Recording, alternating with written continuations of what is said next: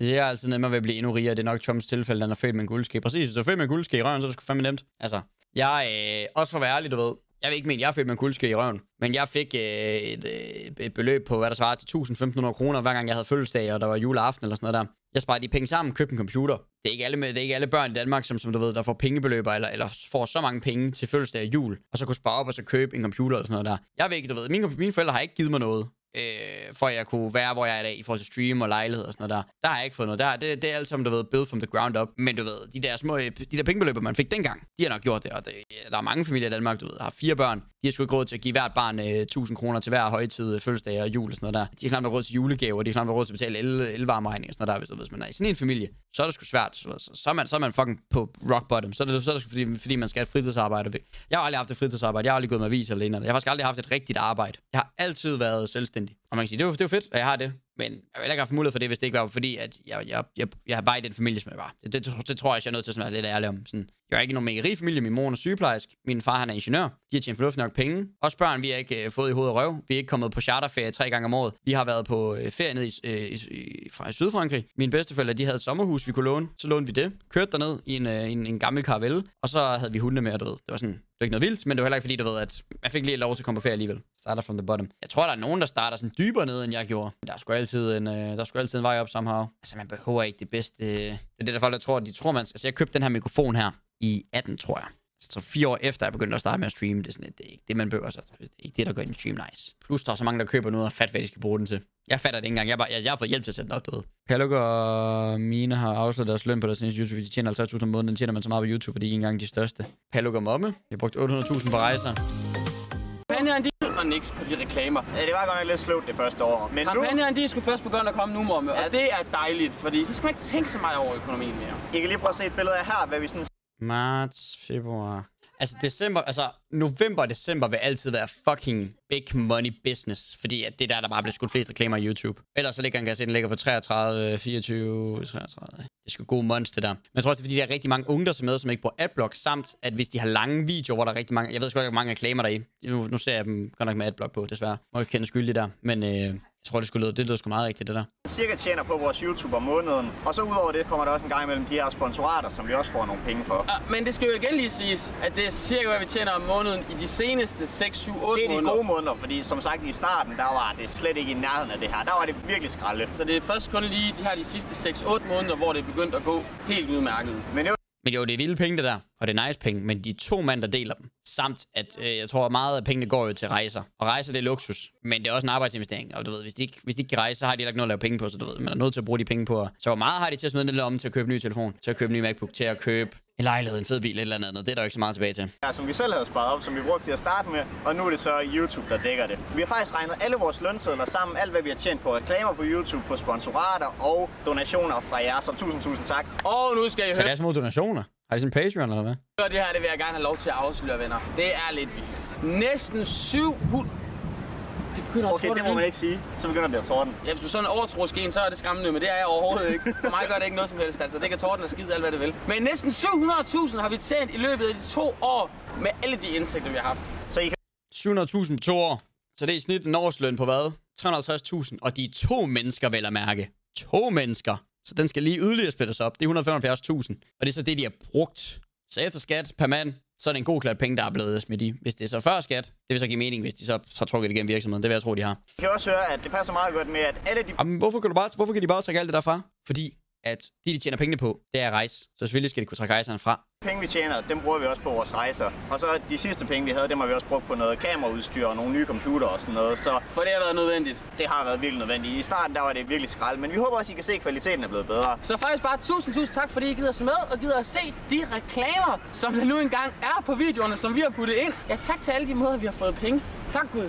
Tak. Men de siger jo også, at det første år tjente de ikke 10 om måneden, så de kommer jo efter det. Ja, det er det. Altså, det, det har faktisk været dejligt. Ellers så ville det ikke kunne køre rundt, jo. Så ja, det er simpelthen vores YouTube-penge, der dækker vores rejser, og det kører rundt. Og det er virkelig, virkelig fedt, og det er vanvittigt, det kan lade sig gøre. Og vi har ikke noget Og det er øh, YouTube-iværksætteri på det, første, på det højeste plan her, fordi det er jo det, Futte han drømte om, men aldrig kunne lykkes med. Det de gør, Det er, de reinvesterer deres penge i at lave content. Og jeg har så meget respekt for det, for det er ikke noget, jeg gør selv. Men det er også fordi, du ved, at den måde, jeg laver indhold på, der føler jeg ikke, det giver mening. Jeg bruger selvfølgelig penge på diverse ting og sager, men, men jeg, har, jeg, jeg vil også godt have lidt mere sikkerhed i det, end at du ved, brænde pengene af på alle mulige færd og sådan noget der. Så det vil ikke give så meget mening med stream, tror jeg. Noget andet job, det er der også mange, der har spurgt om. Nul og niks. Jeg kan aldrig nogensinde nærmest komme tilbage til noget helt normalt. Puh, da. Det bliver i hvert fald hårdt den dag, man skal til i gang igen med et eller Nej, det er lidt lækre at sidde her og arbejde, kan man sige. Lidt. Ja. Udover normalt, så vil jeg nok ikke til daglig gå og miste mine solbriller hele tiden. Det var godt nok jo. Men jeg håber, Sop til dem. Jamen, Jeg må ærligt indrømme, jeg ser ikke så meget, du ved, sådan noget dansk YouTube-vlogging, øh, og ferie og sådan noget der. Det siger mig ikke så meget. Det er sgu mere sådan noget, du ved, lidt mere lærerigt indhold, eller øh, du ved, noget, hvor man føler, når man føler altså, sig. Sådan noget ren underholdning, det er sgu ikke lige mig, desværre. Men der er rigtig mange, der gerne vil se det. Blandt andet sikkert jer, og blandt andet også mange yngre og sådan noget på, øh, på YouTube. Så til 100%, jeg forstår, hvorfor det er succes. Jeg synes, det er nice. Det er bare ikke noget, jeg selv, du ved, bruger, bruger tiden på at se. Hvis I gerne vil se det, hop ind og støtte dem. Hop ind og give dem noget kærlighed videoer. Det kan også være online arbejde, et eller andet annoncering og fotograf, der skyder billeder. Det er sådan set lidt lige meget, hvad det er. Så længe man kan tjene penge på det, så kan du jo sagtens arbejde for hvor som helst i verden, du har lyst til. Og det kan godt lade sig gøre bare at rejse rundt fuld tid. Så go for it, hvis I har lyst. Men Palo kan mener jo, det er lidt hårdt at arbejde. Nej, jeg er ikke hårdt. Jeg har sat som blommen i det, ikke? Jeg tror jeg lige, at jeg vil have en lille fadbams. Score Palo.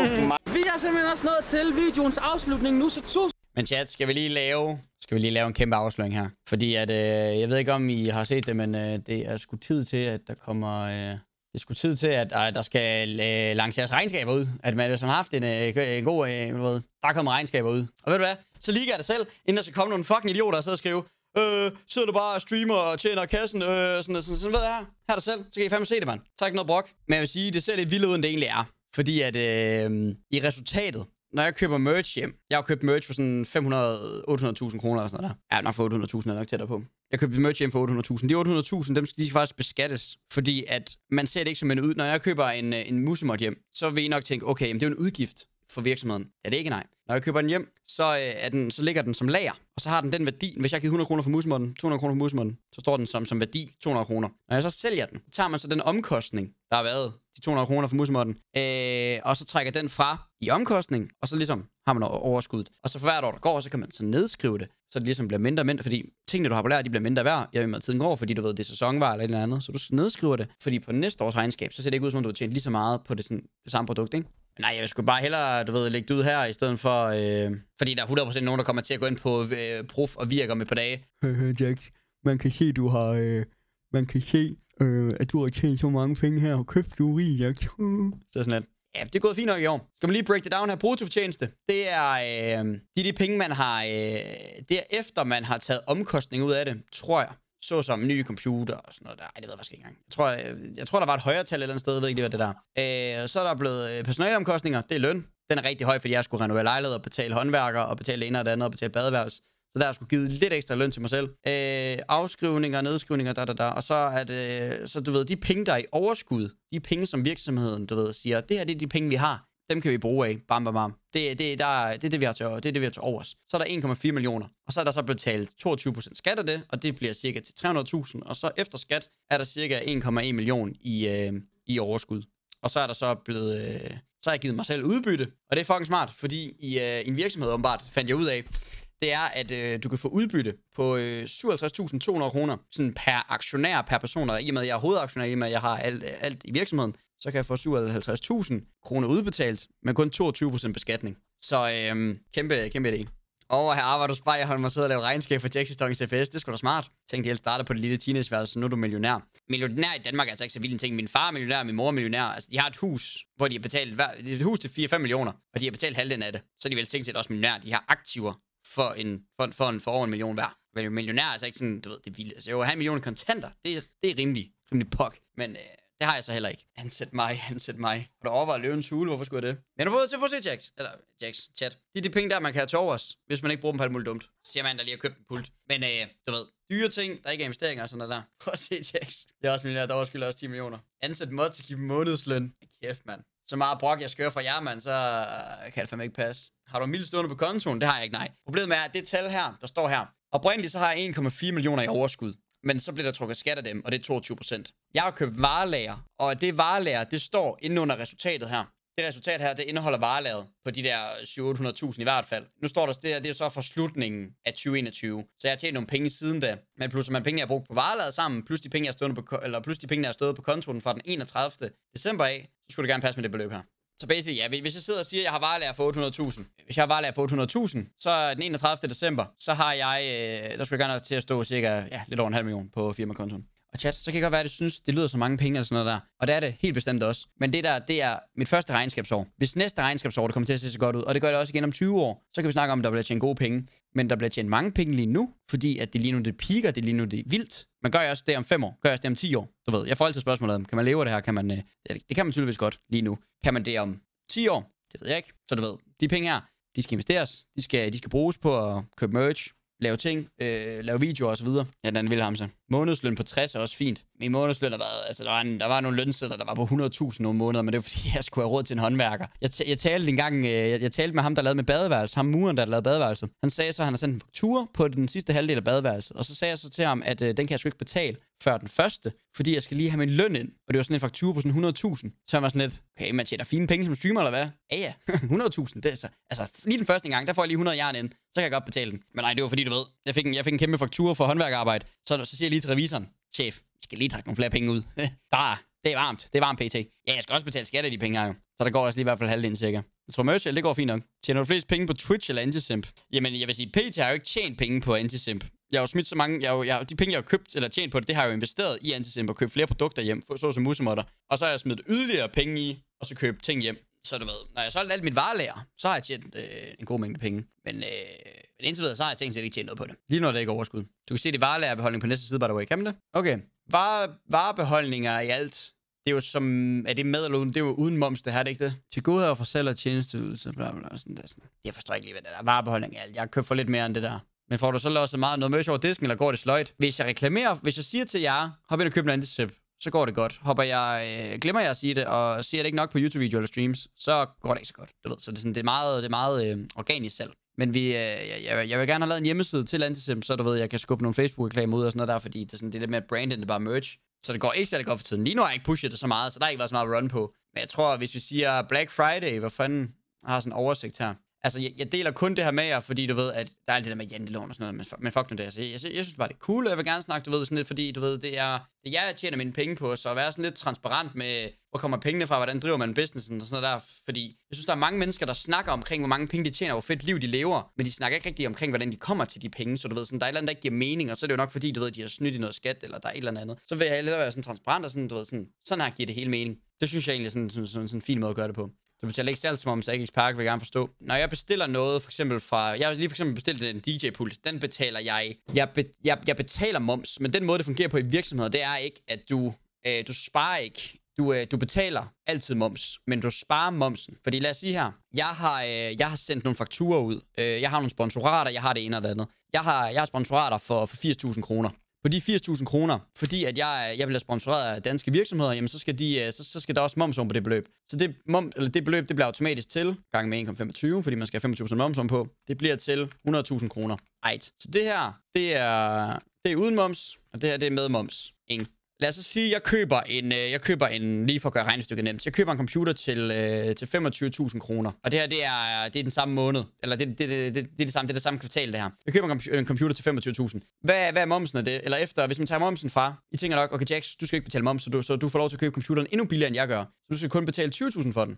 Du skal kun betale 20.000 for den. Okay, cool. Jamen Jax, har du så fået en, en bærbar til 20.000, eller til 20.000 fra 25.000, som vi andre skal betale? Ja og nej. Jeg, når jeg betaler, så betaler jeg 25.000. Men fordi, at jeg har, jeg har sendt fakturer ud for det her, for 80.000, så øh, jeg skal have 4.000 kroner, men staten skal have 20.000 i moms. Men i stedet for, du ved, der er 5.000 kroner i moms her. Der er 5.000 kroner i moms. Heroppe, der er 20.000 kroner i moms. Det her, det er penge. Det er penge, der spares. Det her, det er penge, der betales. Det vil sige, når jeg så skal, når jeg skal, så skal ind og betale min moms i uh, slutningen af, af den hver tredje måned, jamen så, uh, så tager jeg det momsbeløb, du ved, det oprindelige. Jeg har tjent penge, så jeg har 20.000 kroner i moms, jeg skal betale. Men jeg har også brugt nogle penge. Så der har jeg sparet 5.000 kroner i moms. Og det vil sige, når jeg så skal indbetale, så skal jeg kun, når, når jeg skal betale moms, så skal jeg betale 15.000, fordi jeg havde en udgift, der hed en computer, hvor jeg sparede 5.000 kroner i moms på. Så jeg skulle gerne have overskud i alle måneder, men de måneder, hvor jeg så har underskud, eller hvor jeg ikke tjener lige så mange penge, som jeg bruger, jamen så, så, så sparer jeg momsen. Eller du ved, så, så, så, så, så, skal jeg penge tilbage i moms. Men de penge, hvor, du- eller de måneder, hvor det går godt, jamen der skal jeg så betale bare lidt mindre i moms. Men derimod bestiller jeg fra Tyskland af og sådan noget der, så er der også momsfrit for eksempel, fordi du betaler ikke for udlandet. Men når det er danske virksomheder, så er moms, moms det er bare, når du rykker sig. Det er ikke noget, du ved, du sparer. Det, eller det er ikke noget, du, sådan, du, ved, du får som besparelse, når du laver ordren. Det er, noget, du, det er, ikke, det er ikke noget, du skal tage mindre, når du laver ordren. Det er bare et, et beløb, der altid er oven på dine penge. Så det giver mening. Nå, men øh, hvis vi lige skal snakke lidt fra den 1. november og så til den, øh, til den 3. december, eller 31. december, derom så det er for en, øh, for en kvart million, kan jeg se i merch. Så det er sådan, det er med Black Friday, og det er med julesalg. Så det er sådan en rigtig god tal, ikke? Så kan jeg lige prøve at tage fra den, fra den 31. december til frem til nu, today. Der er solgt for 50.000 kroner. Øh, men der er heller ikke ligesom givet, givet lige så meget tryk på med, med salg og så videre. Plus mange af de penge der, det er også øh, det er fra, øh, det er fra dengang, vi lavede det der velgørenhed. Der er det sådan gået lidt mere sløvt, men du ved, det er også det er fordi, du ved, det, jeg skal også selv gøre noget for at sælge alt det merch, hvilket øh, jeg, jeg, jeg er lidt, øh, lidt, øh, lidt øh, durlig til. Men det er også fordi, for at være ærlig, der er lidt for mange bolde i luften. Skulle køre en webshop, køre tre YouTube-kanaler, køre en Twitch-kanal, køre nyt management, samarbejder, bang, bang, bang. Der er rigtig mange ting. Mange penge har du så omsat denne måned, så jamen, der, der er ikke noget, der hedder måned til måned. Det, det er ikke rigtig noget, man sådan, det ved man sgu ikke helt. Det svinger meget. Nu for eksempel, nu, nu mister jeg så Monster som, som sponsorat fra den, øh, fra den 1. januar af. Det var lige nogle penge, der ikke var der. Nu får jeg så et nyt sponsorat her øh, den 1. april. Det er nogle penge, der er der. Jeg skal også lave et stort samarbejde i april måned. Det er også nogle penge, der er der den måned, men ikke er der måneden efter, du ved. Det svinger rigtig meget. Det er også derfor, du ved, det kan godt være, at jeg har mange penge til at stå på kontoen. Men det vil bare sige, de måneder, hvor jeg for eksempel, lige nu har jeg 10.000 subs på, eller lige nu har jeg 1.000 subs på Twitch. Øh, hvis man siger, øh, at man får cirka 15 kroner per sub eller sådan noget, hvis det er det, vi siger. Ja, det er 15.000 kroner. 5.000 kroner at leve for de penge, men du ved, hvis man har, uh, hvis man har lejlighed, man skal betale af, man har bil, man har, man har forsikringer, man har alt muligt spændende, øh, og man skal også kunne tage ud og rejse og spare op og sådan noget. Hvis man, man skal have det som et voksenarbejde, så 15 jern før skat. Det er fandme ikke mod penge. Øh, så du ved, hvis, hvis det nu går helt træls en dag, jamen så har man ligesom en opsparing til, at man ligesom, du ved, man, man kan have koldt vand i blodet og så, så hygge sig. Hvad er din fortjeneste for den kvart million? Det er svært at sige, fordi nogle af tingene er ren fortjeneste, nogle af tingene er også, øh, hvor jeg skal betale en udgift for noget tøj, jeg har solgt og sådan noget. Det må også være hårdt at carry dansk Twitch. Jeg skal ikke, om jeg carrier noget. Men, øh, men jeg synes mere, du ved, snakke lidt åben om det og sige øh, inspirerende tal og have øh, over 1 million i resultat på sit det første øh, regnskab i sin virksomhed, som streamer og som YouTuber fuldtid. Det synes jeg sgu, det er meget fint. Det, øh, det synes jeg, det er sgu en god, øh, en god, øh, en god, en god standard at sætte. Også bare for at inspirere og sige sådan, ved, altså, det her, det er, det, sgu den, det er den største tjener af DK. Hvis du kan, hvis, hvis, en af de største tjener af DK. Hvis du kan tjene mere end det, eller det ene eller det andet, du ved, det er sådan, det er sådan der, det skal, det skal ikke gå op i pengene, du ved, men altså, jeg har det bare bedst med, du ved, at jeg kan lave lige præcis, hvad jeg vil. At jeg har, når jeg har en million på bankkontoen, så har jeg økonomisk frihed de næste, det næste år i hvert fald. Men jeg er en fucking idiot, og bruger dem dumt. Men du ved, så har jeg økonomisk frihed på den, på den måde, at jeg, jeg, jeg skal ikke... Jeg behøver ikke at tænke over, at jeg sidder med 600 viewers lige nu. Jeg sidder kun med 1000 subs. Jeg skal i hvert fald have 1500 for at kunne betale mine regninger og sådan noget der. Du ved, det, det er et eller andet sted... Jeg, jeg sætter mega meget pris på subs og donationer og sådan noget der. Men det er ikke noget, jeg er afhængig af i den forstand. Jeg har nogle rigtig gode sponsorer. Jeg har rigtig mange af jer, der bruger koden på SteelSeries. I bruger koden på MyProtein. Øh, når I støtter mig på alle de måder der, det støtter mig enormt meget. Og det i flere tilfælde, det støtter det... Altså, hvis I lægger en order på 1000 kroner på MyProtein, så støtter det mig langt mere, end hvis I giver mig et top, for eksempel. Så du ved, alle de der små ting der, alle de samarbejder, man har, de giver, de, de giver rigtig godt. 1,5 på bunden, 1,4 på bunden, før skat. Al respekt, jeg snakker åbent om det, det kunne, øh, det kunne mange YouTubere og streamere lære af. Mm, det er nok fordi, man synes, det for det første er lidt privat økonomi, men også fordi man sådan lidt, hvem rager det egentlig? Men du ved, jeg vil bare være på forskud og sige, mit regnskab, det ligger offentligt. Hvis I vil sidde og jeg ved, ikke, prøve dem op mig med, at jeg har tjent over en, øh, en, en, en million, så må I gerne det. det er ikke noget, jeg bliver ked af, men du ved, så er man bare på, på, på forkant. Får du stadig skies for øjnene for den stilselsbækkode? Øh, ikke mere, nej, men der var fandme far på en periode. Men altså, men altså, jeg vil også umiddelbart mene, at jeg har kørt sådan en rimelig clean, clean business. Der har ikke været shady kampagner. Der har ikke været alle mulige ting og sager imellem, du ved. Sådan, jeg, altså, jeg, jeg føler lidt, at siden jeg startede virksomheden, for ligesom at køre YouTube gennem virksomheden, som det skal gøres, øh, du ved, så, så er det bare kørt clean. Det har været gode samarbejder. Det har været øh, med hånd på hjertet. Det har været med de ting, jeg gerne vil lave. Det har været, du ved, sådan, det var en, en rimelig, rimelig nice øh, rejse. Ja, det var lige lidt enkelt noget med Luna, du ved, men sådan Luna, det er gratis at, at prøve. Jeg har sådan lidt alle produkter, der sådan er gratis at prøve. Hvis det ikke fordi man får en virus på telefonen eller computeren af det, jamen så sådan, why not? Altså Raid Shadow Legends, det er en eller anden sted også dumt, jeg ikke tager imod det, fordi altså, hvis jeg bare skal sige til jer, I skal bare downloade spil, og så altså bare spille det, og så må I se, om det er noget ved. Hvis der er det, så giv den gas. Hvis det ikke er, så lad være. Agtigt. Nærmest dumme penge, jeg kan tage imod. Men det er også sådan lidt, du ved, det går også fint. Jeg, får lavet fine penge, du ved. Og, og grund, når man så har det regnskab der, så kan man også sige mere, øh, eller nemmere nej til sponsorater, såsom Raid Shadow Legends. Fordi du ved, hvis- hvis jeg tog imod lortesponsorater, hvor I bare tænker sådan, Jax, hvorfor tager du imod det lort der? Og, jeg, og der, der er en 1 million på bundlinjen. Så sidder jeg og så tænker, okay Jax, altså, altså, altså hvor pengegrådig er du lige? Jeg har ikke tabt penge på Monster, jeg har bare, du ved, præcis Christine. Quick question, skaffer du selv samarbejdspartner eller dit management team? Øh, det er både og. Nogle samarbejdspartnere har jeg selv taget kontakt til, og nogen har med. Altså, jeg, jeg skal lancere en ny, øh, ny samarbejdspartner her i næste måned. Det er mit management, der har skaffet den. Jeg skal også lave et meetup med en samarbejdspartner i næste måned, som er noget, som du ved, jeg har arrangeret selv. Det er en samarbejdspartner, jeg, jeg har arbejdet med før, som jeg selv har arrangeret det med, men min management har taget over den aftale nu, så de ligesom håndterer det, øh, det alt det praktiske der. Jeg skulle til hver en tid taget den million for et, altså, jeg har ikke fået tilbudt million for et spons, men det får jeg med på. Det skal jeg da have. Det skal vi da have. Men du ved, Esportal, de, øh, de, øh, de betaler sgu også nice, og det kræver bare, du ved, at jeg sidder og spiller ind på deres platform, og det synes jeg er nice, fordi det er Esportal, nice koncept, de vil lidt, øh, du ved, køre, køre hårdt på med CS matchmaking i Norden. Det synes jeg er nice. De kan, de kan gøre sådan, at du ved, at igen, desto mindre jeg skal tænke over, om jeg tjener penge på stream eller ej, men det bare kommer ved faste samarbejder. Det er jo fucking rart. For eksempel e-sportal. Det, det sørger for, at jeg spiller mere CS på stream. Det er det mange af jer, der godt kan lide at gøre. Det gør ikke så meget før i tiden, det gør jeg mere nu. Fordi du ved, at e-sportal, de gør sådan, at